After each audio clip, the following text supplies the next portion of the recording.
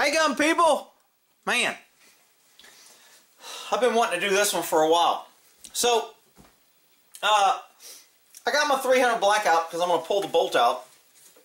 And I just wanted to talk about a little pin that a person was talking about. So we got the bolt out here. We'll lay the gun over here. I'm going to take this bolt out. Rick, you should always take the magazine out before you take the... Shut up, big crybabies.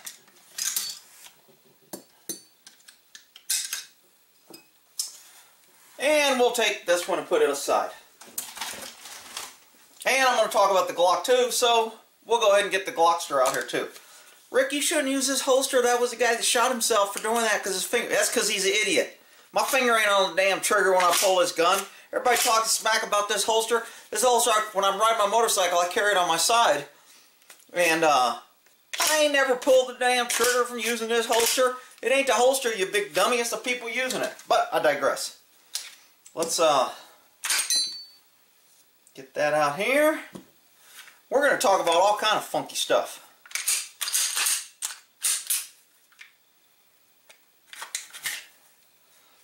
Alrighty. So, why do I have all these bolts out? Let's go with that. Alright, let's get down and dirty. Here's how this how here's how this event morphed. Uh, does everybody see this little pin right here? Let me uh, see if I can maybe get this light. So it will, does that help? I don't know if that helps or not, people, but so the little pin right there is what we're looking at. Probably got this light on too. I don't know if that'll give us more light or not. That blocks the light. I got more damn lights in here and people always complaining, you don't have enough lights. You need more lights. Whatever. Alright, so this little bitty pin right here, which I'm going to try to pull out with my finger, but I haven't had this one out a lot, so I might have to use something else. Used to be able to pull them out the finger. See a little pin there? I mean, this is crazy. I'd never heard this before in my life. So this pin, I'm at the gun show and I'm just kind of cruising around looking at shit. And I'm, I'm listening, you know, at the gun show, you always got people talking about stupid shit. And I look at them, I'm like, I mean, they're just giving out some crazy advice. And I'm like, who the hell told, I mean, I don't say anything, but I'm just like, man, there's some great misinformation out there. They got people believing all this shit. But, so uh, this pin right here, I get a good look at it. Man, I wish I had one more. Hang on, I've got one more light over here. That might work. Does that help that, that pin at all? Get this a little bit lower here. Right there. See that little sucker?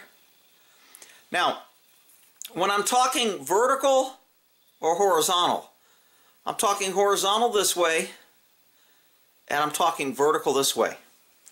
Now, this guy was explaining to somebody that most people put this pin in wrong because it should always be vertical and not horizontal. And so when I heard him saying this, I kind of like, what the hell is he talking about? So I kind of stopped. I start looking at another gun, but I'm listening with one of my halfway hearing ears. So supposedly he says when you put this in, if you put it horizontal, the pin can get damaged. If you put it vertical, it's stronger.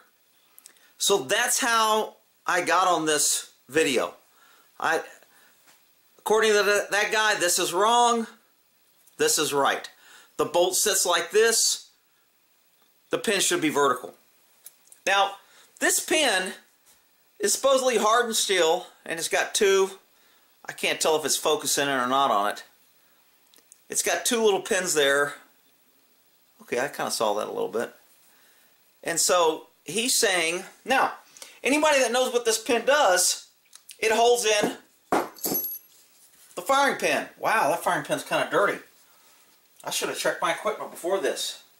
I'd be like, you don't clean your gun. Shut up. My damn gun's usually always clean. But for some reason, somebody snuck in and put a little dirt on this. So I must have fired it and forgot to uh, give it a wipe down. I mean, it's not that dirty. It wiped right off, so it's not like all carboned up, but it's blacker than I like it. So when this pin goes in the bolt, it sets right in between here. So according to this guy, if the pin's in up and down, that's correct. If it's like that, it's wrong.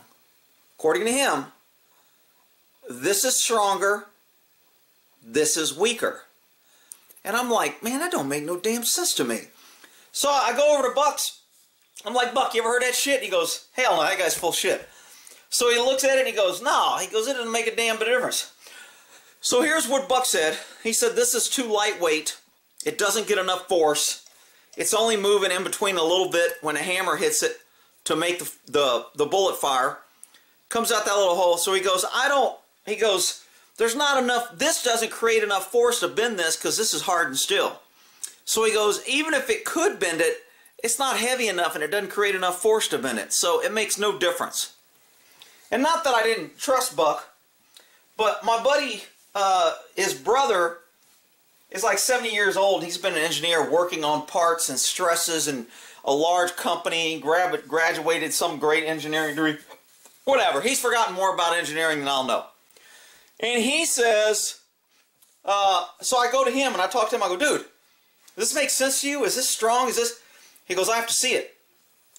At first, when I explained it to him, he said, oh yeah, like this would be stronger because it's like if you put two 2x4s on top of each other, they're not going to bow. And for some reason, I couldn't explain it. This isn't like two, this would be two 2x4s side by side. This would be two 2x4s on top, but the pressure is coming this way. It's not coming down on two 2x4s. But both people, actually three people I talked to when I explained it, all gave me the 2x4. Well, if you got two 2x4s like this, stand in the middle, they're going to bow. But if you put them on top of each other, they're going to be stronger. I'm like, yeah, but this, he's saying is stronger like this, but it's not getting pressure to where it's doubled. It's getting pressure on the side. So anyway, after talking to this engineer, he goes, uh, he says, no, it's negligible. He's full of crap. And Buck happened to have four or five bolts from the factory. Not that it matters, but they were all like this. Uh, none of them were like this from the factory. Does that matter? I think it's just the way to go in. I've never paid any attention to this pin. I've just shoved it in. Uh, the guy that was explaining it said he saw when they put it in the wrong way, one of these pins had flared out and bowed, and that's because it was put in wrong and a firing pin hit it and bowed it. I think what happened is on some of these pins, they're not equal. This one happens to be equal and kind of flared down a little bit. Some of them, one shorter. And if they don't come out the other side of that hole and both fit in there on the other side of the hole, and you only have one, and they force it or bang it because it won't go in, you know, like right now, it's kind of hard. If I take a hammer and try to bang that in, I'll end up bending one of those pins. So normally what I do is I just tend to spin it while putting pressure until it goes in. And I go back and forth. And if that doesn't work, which it normally does, not working now because I said it normally works. Then what I do is I'll get a small screwdriver and when the pin is inside, I will come up and push one of these pins like so, and then it will help it go in. So while it's in here, after I have the firing pin in, I turn it sideways like so. Hopefully it's coming out on video. I got all these lights on. I can't see shit. So I put it in like that. If it won't go in, I will take a screwdriver, reach in here, and just press sideways like so. I'm going to be pressing Here's what it's going to look like inside. I'm pressing on this end to get it through these holes over here. And I'll just reach in here and I'll push. And then it'll go right in. And I'll see if it'll work on camera.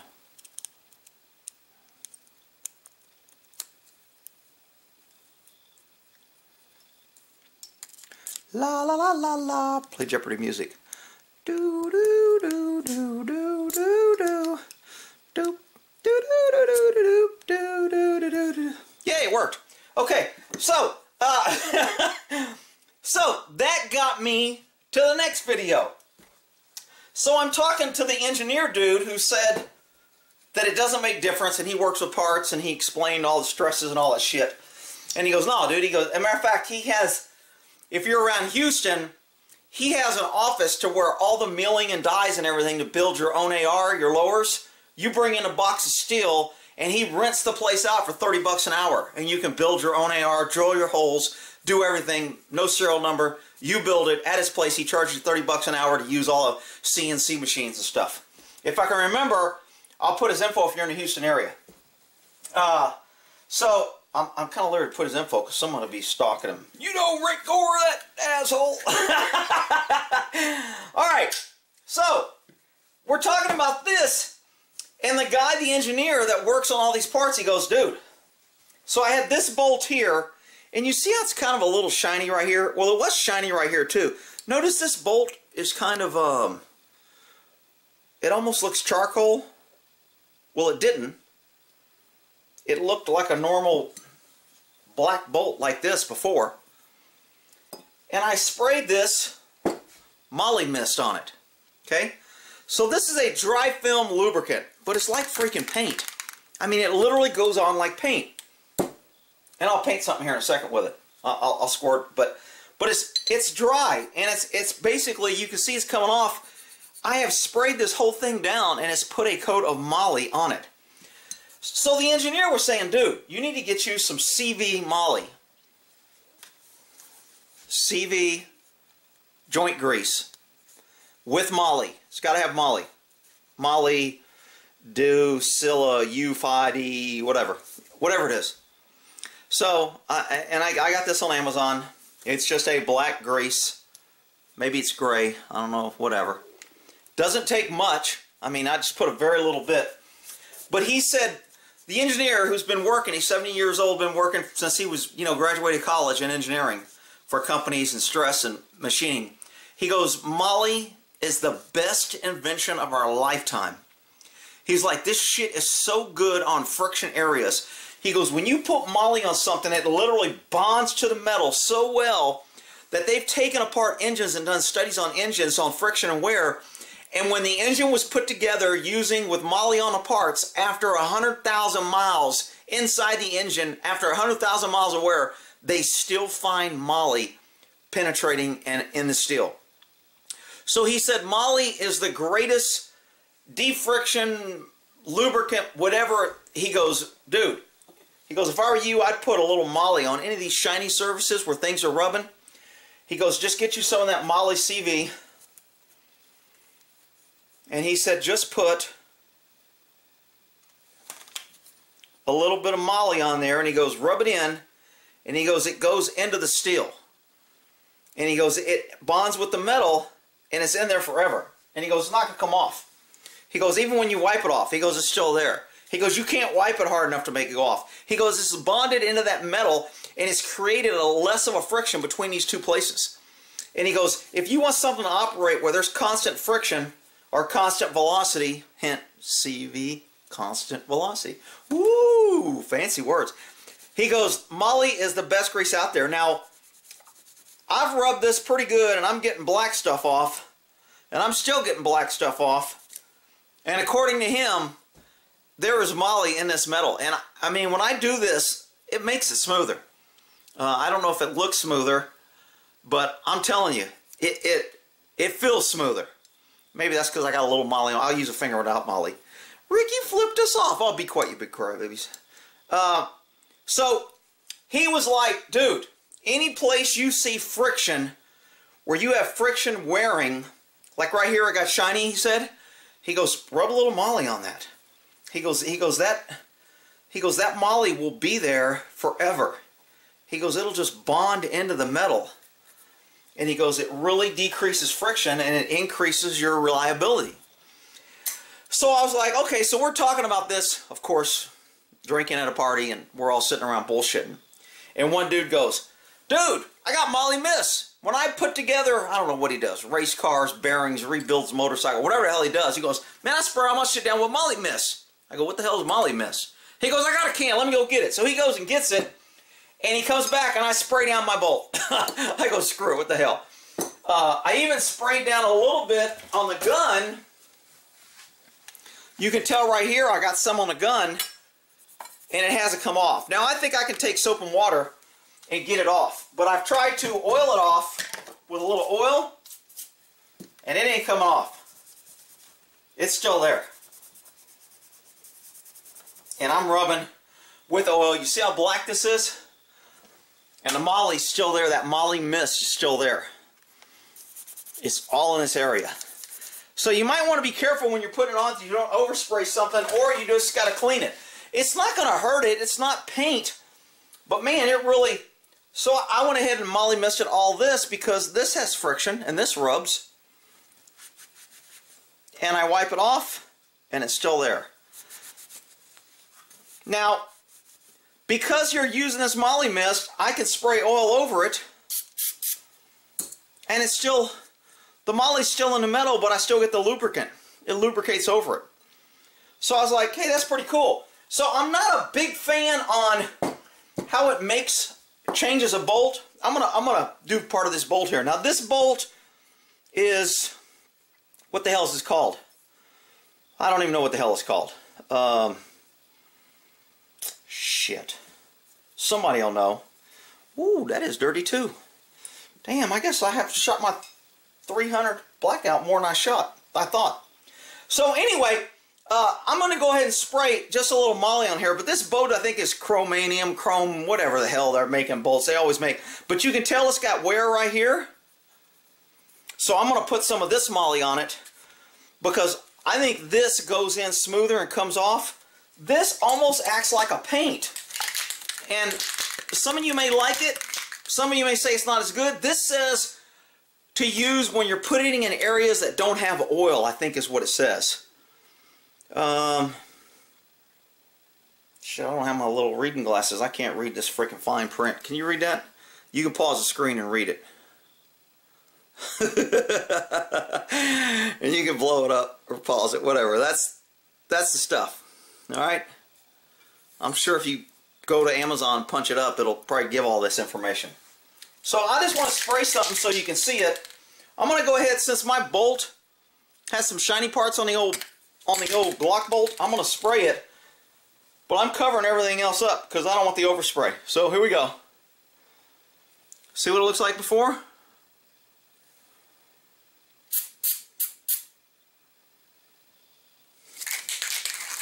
I don't remember it looking like that before. That's pretty oily. And it smells like spray paint. See how it's turning the rag black? See how I put all that on there? Now I'm getting a buzz because it smells like spray paint. See how I kind of grated up? It put all that moly mist in there, but it's got a good coat of moly on it now. And now if I want to oil over it, I can. Now, there have been people, and when I was screwing around, these two bolts were just sitting around, and I put a little bit of this moly on them and just rubbed the moly on the bullet. And I rubbed it on the brass too, just for GP. And I know people are gonna be like, "Man, you're using that moly like you're using that freaking what's that? What's that liquid stuff I was using on wood? Hell, I can't think of it now. That was a cap. Um, anyway, I painted my uh, thing with it. So I put moly on this. Not only did it clean it up, supposedly it bonded into this copper jacket here and I will get more velocity out of this. I would love somebody with one of those little things that tests the speed of the bullet, what's called chronogram or whatever the hell it is, where you shoot the two bullets through the little arrows and it tells you how fast the bullet's going. I would like to see if you treated a bullet with this Moly Mist and this Moly CV and shot three bullets, if, if you got more velocity out of this.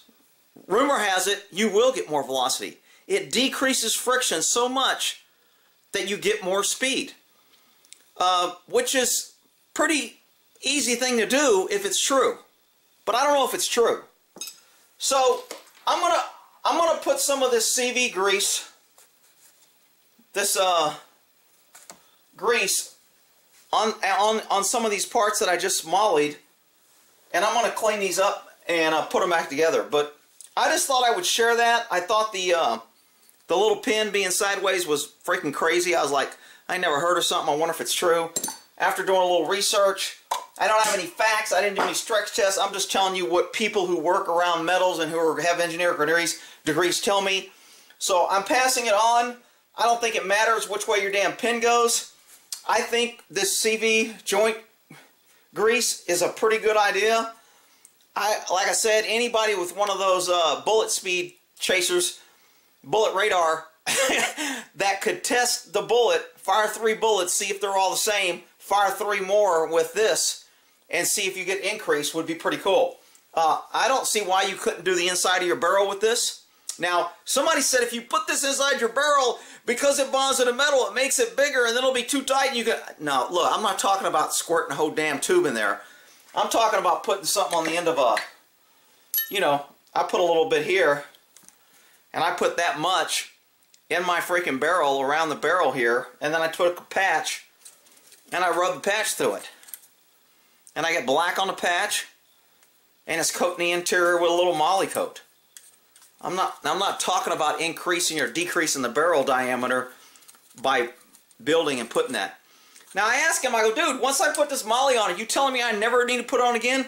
He goes, I'm telling you, it'll never all go away and there will always be some on there. But he goes, I would probably say after maybe 10 cleanings, you could reapply. 10 to 20 cleanings. He goes, if you want to, you know, make it a little bit more slicker and reduce a little bit more friction, he goes, put a little bit more on after 20 cleanings, I think was what his final thing was. So he goes, once you put it on, it's there forever. It bonds with the metal. And he goes, it is the great friction eliminator. So that's my take. You can hate on me or say I'm full of crap or say the people I ask are full of crap. What I'd really like is some people that either know and have tested it or agree with it. And I don't know what the hell happened to this bolt, man. This thing kind of looks dirty. oh, it ain't that damn dirty. A little bit of oil, I'll probably wipe that off. It ain't even carboned up. If it was carboned up, it wouldn't come off this easy. Well, maybe it needs a little scraping. Whatever. Clean my damn gun. Don't be coming here cracking on me about cleaning my gun. Alright, so that's the scoop. I got a little buzz. Shit, from that moly mist. Uh, that's what it looks like, people. Um, maybe if I zoom in at a distance, you can tell where the moly was at and how it changed the uh,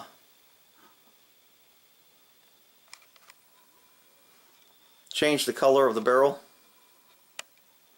Yeah, see, it's not going to focus in. It's hard to get a good focus. It's probably about as best I can get. Alright, so it is what it is. Just passing it on. Well, in that there,